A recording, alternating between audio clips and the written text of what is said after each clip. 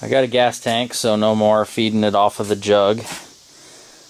Uh, so I'm going to be putting that in. I got the sending unit, put all that together, and put it up in the car.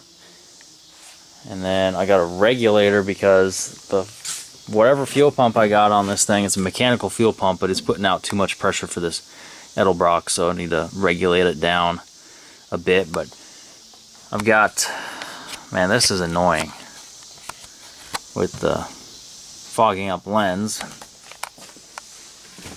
I've got um, a lot of the wiring kind of tidied up, like my starter wiring up in here. Got it all loomed along with my electric choke. That's kind of kind of nice. All right, some good progress tonight.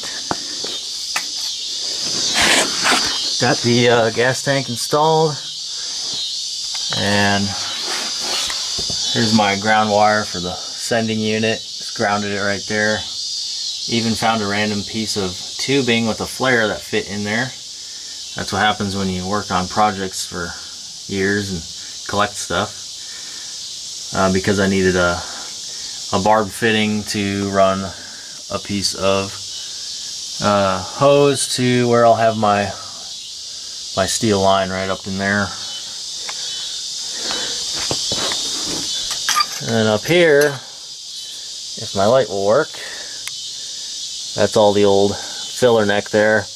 And I'm probably going to regret not replacing that rubber piece there. It'll probably leak as soon as I put gas in it. Uh, I found a bolt for the little hanger thing for it because there's a lot of missing bolts and stuff. So bolted that up. Of course, there's a new O-ring that goes into the tank itself. And then um, I need to get a piece of tubing or a rubber hose for that vent right there to run to the tank. I think the exhaust I'm going to run, I'm going to dump them out the sides because right where they're at now the exhaust goes right into the car. Not a good place for it so I'm gonna run it out the sides instead of trying to maneuver it around the tank and stuff.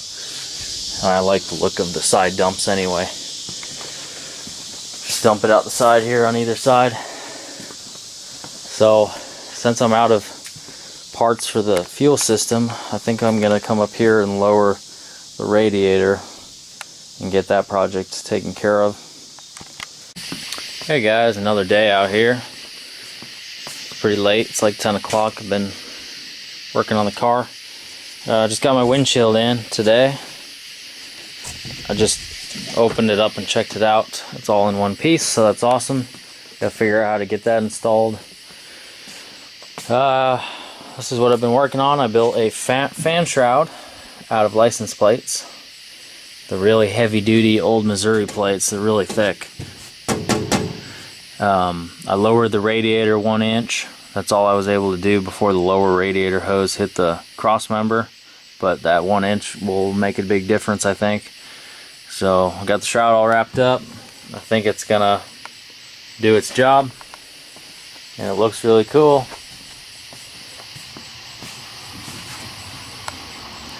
And I also put an overflow tank on there old knee-high bottle. So, simple and effective.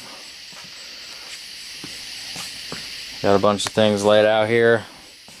Mostly electrical stuff. I'm going to start thrashing on the lights, getting the lights, get, get going on the lights tomorrow. I need a, I ordered a 20 feet of 5 16 fuel line.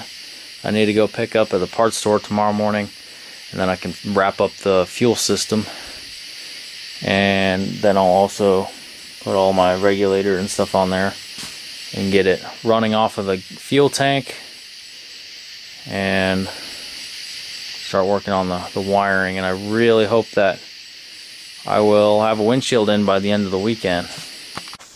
Well, I've been plugging away on the car and I forgot to turn the camera on. I've been doing a bunch of stuff here. Got the uh, headlights torn apart and the old wiring stripped out. And getting ready to work on that. I got my uh, turn signals put back together. Uh, I put some LEDs in there. That's what that wiring is for there. Those will be should be nice and bright. Won't have to worry about blowing bulbs. Just got done with the tail lights put some new lenses on there makes a big difference. And I put new, uh, just regular um, sockets for the filament bulbs in there. Um, had a had a hard time with that. I ended up using self-tapping screws to screw the the socket in place to this, so it'll get a, so it got a good ground. So that's all good, all works and everything. I put some bright, the special, supposedly brighter uh, bulbs in there, and they seem really nice and bright. I've got the wiring all ready for that here. I've just got to run the wiring back this way. Uh, so working, working away. Tail lights are taken care of. Uh, turn signals are good. I gotta do the headlights. I got the sockets here for those. But all the old stuff is just, it's shot. It's it's dried out. It just cracks. It, it's just bad. I, I didn't even want to mess with it at all. So better just to start fresh with some new stuff. I don't really want to have problems with it anyway. So I'm going to continue on and get try to hopefully maybe have headlights and taillights by the end of the day. But we'll see. Alright, I got the windshield here, I got the rubber around it. Now I just got to figure out how these chrome pieces go. And then we can get it in there. Got my rope. What can possibly go wrong? Got some help here and got the chrome piece in there that that top piece has a little lip so you got to put it in the rubber before the windshield goes in and these other pieces you can put in after so we are about to try to put this thing in hopefully it goes smooth so far it's been pretty smooth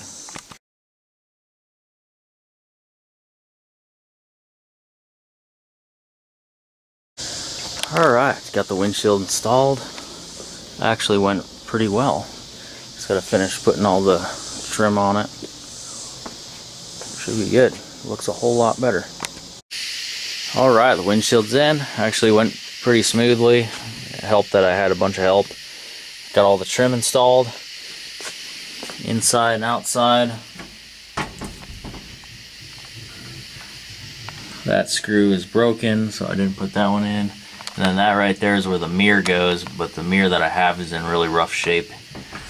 So you can't even see out of it, or you can't, it doesn't even mirror anymore, so I'll find one to put in there.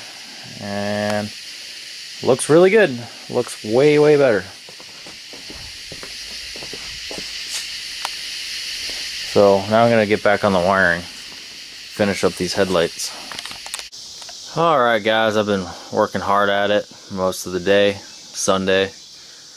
Been pretty much wiring all day after I got home from church. Just helped my brother wire up some things on his truck and then now I've just been wiring on this. So I think I'm to call it a day early today and go inside. But you can see I got headlights now. So that's cool. That's a step in the right direction. No tail lights yet. I don't have the wiring run up this far. But I just got done wiring up two relays for high and low. And this is my high and low switch right here.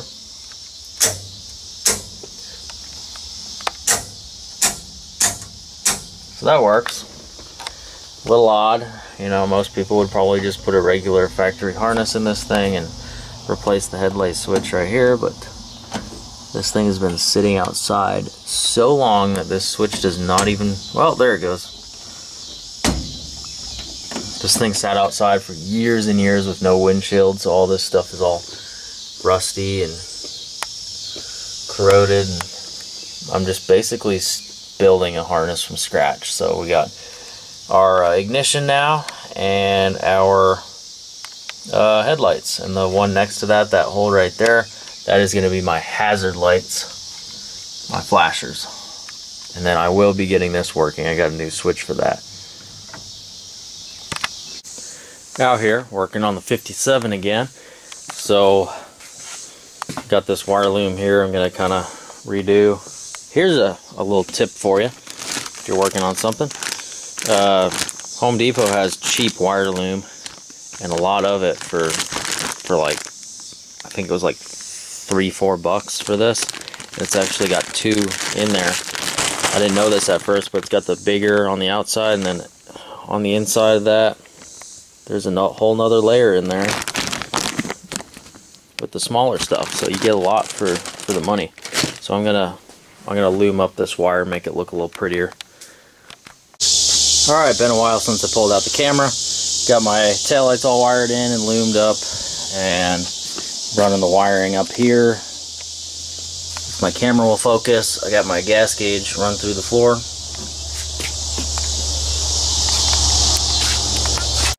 Hey guys, what's going on? My battery died in the last clip so I wasn't able to finish out the video.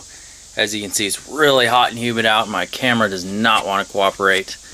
But I'm out here working on the wiring. Not a whole lot that is video worthy. But I'll kind of show you what's going on.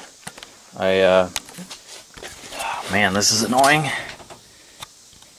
I put in a new brake switch, brake light switch right there. And I got the power side of it wired in. And I also got my, my new turn signal switch wired in as well. So this is all good. Put a little grease on there. Works nice and smooth. Which is amazing because all this stuff was pretty rusty. I had to kind of clean it up I didn't replace anything other than the switch. And my camera just keeps on fogging up. Um, I got my temperature gauge wired up. Hopefully that works.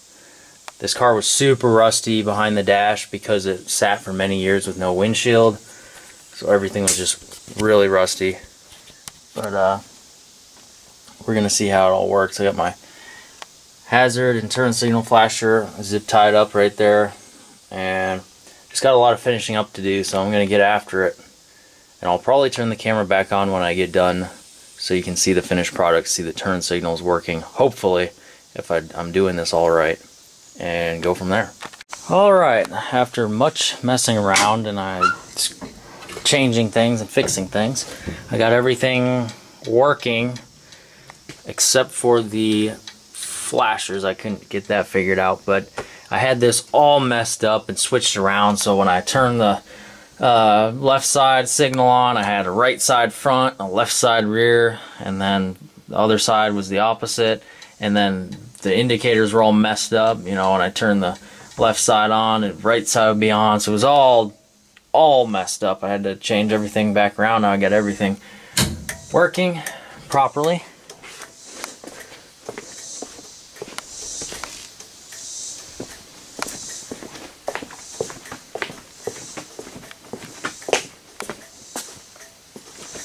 And then the other side, I don't need to show you that. It's the same thing. Other side works. I don't know if I have brake lights yet. I'm going to set the camera up and you guys tell me if I have brake lights or not.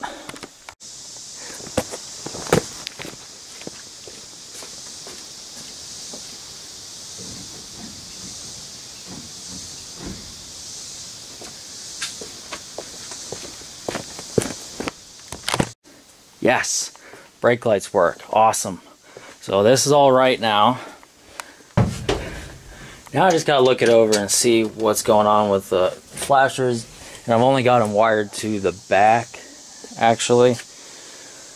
Because, because I'm not using a factory harness, I couldn't figure out a good way to tie them in with the front.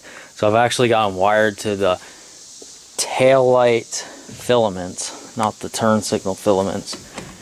I think what I'll do is I'll just run another LED in here since there's plenty of room in there for the front um, four ways. I might throw another, might throw an LED strip on the back or something just to make it a little brighter. But these cars didn't even come with uh, flashers from the factory or four ways.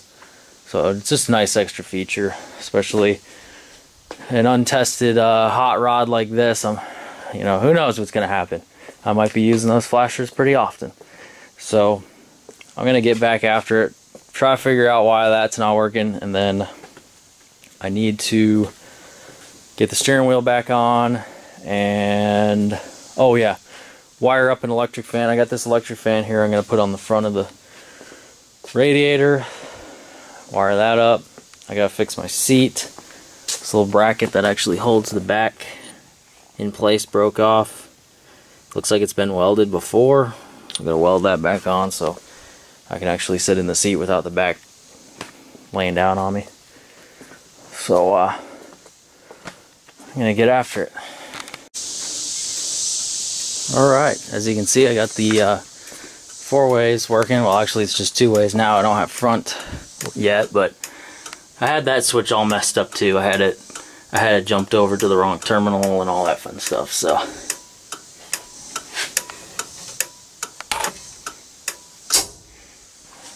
that's working. So everything's working. Now I can kind of button up button up all this wiring for the column and kind of make it look nice and then I can work on the fan. Alright, got the fan wired up as you can hear. Got it all loomed up nice. That thing really moves some air. That's pretty awesome.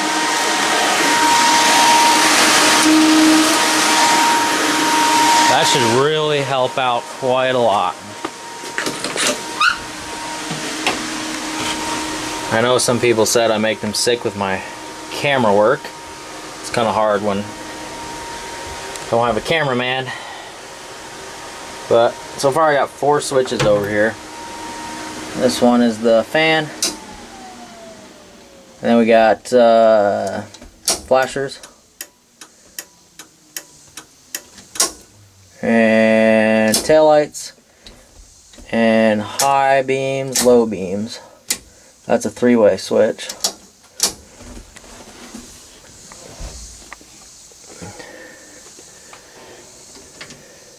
and a gas gauge that maybe will work.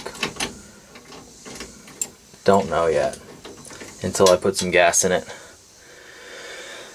So, not too bad. Now I'm just going to kind of try to tidy up some of this mess over here. Alright, got everything looking good in here, buttoned up. Probably to get a lot of crap about not using a factory harness, but I think it looks really good. I got everything zip tied up in a nice bundle. And the only problem is nothing's color coded, so it would be hard to troubleshoot an issue. But everything is working. And uh, I took my time to make sure all the connections were good, and I'm happy with it. There's actually more fuses than there would be originally, so that's kind of nice. It's pretty safe. Car shouldn't burn to the ground. I feel good about that. Um, this is the first time I've ever not used any of the original wiring in a car every vehicle I've worked on, I've at least made some of the original wiring harness work. This is all completely new from scratch. So, kind of nice. I don't know if I ever showed my tail light wiring, how I kind of I kind of made it look nice and put it in a loom. Kind of nice. And that is the uh, gas gauge that comes with And this is my trunk latch. Uh, really hot out. Big surprise. Uh, triple digits all week coming up this week, so that'll be fun. I got my seat bracket welded back on that kind of holds the seat from flopping down. Hopefully that weld will hold. I did like a triple triple pass on it. These uh these are uh, BMW seats, and kind of kind of nice. This thing here pulls that bracket up, and then you can tip the seat back. I might need to oil up this side.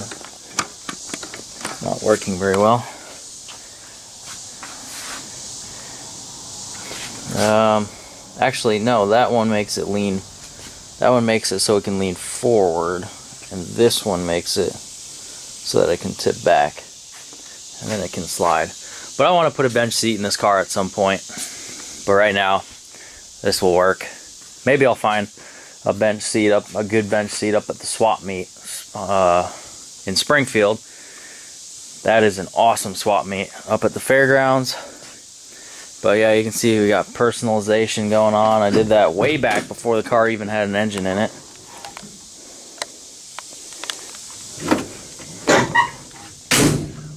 So, gotta let that cool. When that's cooling, I'm gonna get this car jacked up and put some ramps under the tires so I can climb under it and get the fuel line run. That's really the last big thing I gotta do before I can actually drive this car. Also gotta put the uh, speedometer cable in. So, I'm gonna get after it.